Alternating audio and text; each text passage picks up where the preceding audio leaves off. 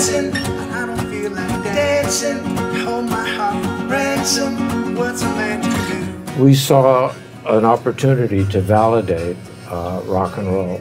50 years later, we're talking about it. It was pretty good energy. You know. I, I haven't seen anything like that since. They were just amazing. I'm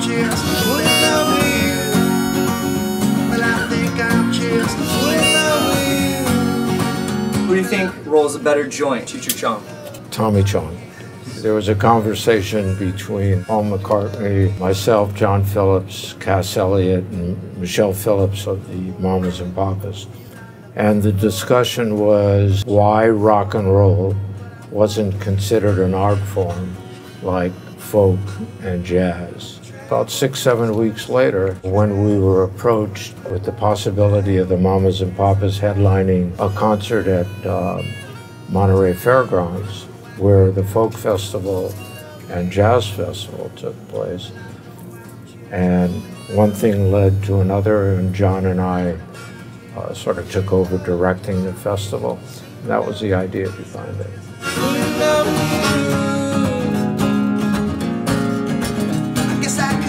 Much were the tickets for the first one? Well, the one of them was really expensive. That was six dollars. A, a lot of this generation thinks that Jimi Hendrix might be coming out with another album. I mean, they just think of him as an iconic artist. He's very popular with this generation, as is the Who, Janis Joplin, all of them. So they've taken the music and made it today. They just enjoy it as if it's happening. dreaming, but I ain't even sleeping. Dreaming that I'm sleeping, sleeping next to you.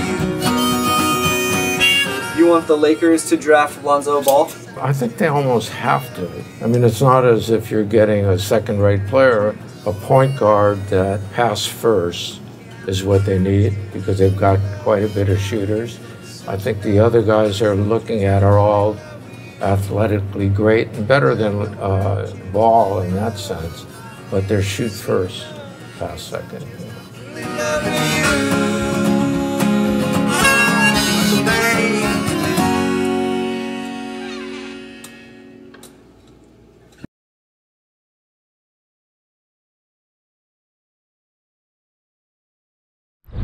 Dude.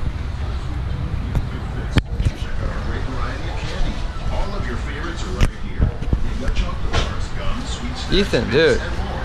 Is that stressful? and stock up now. You did a good job. Didn't think it was gonna fit.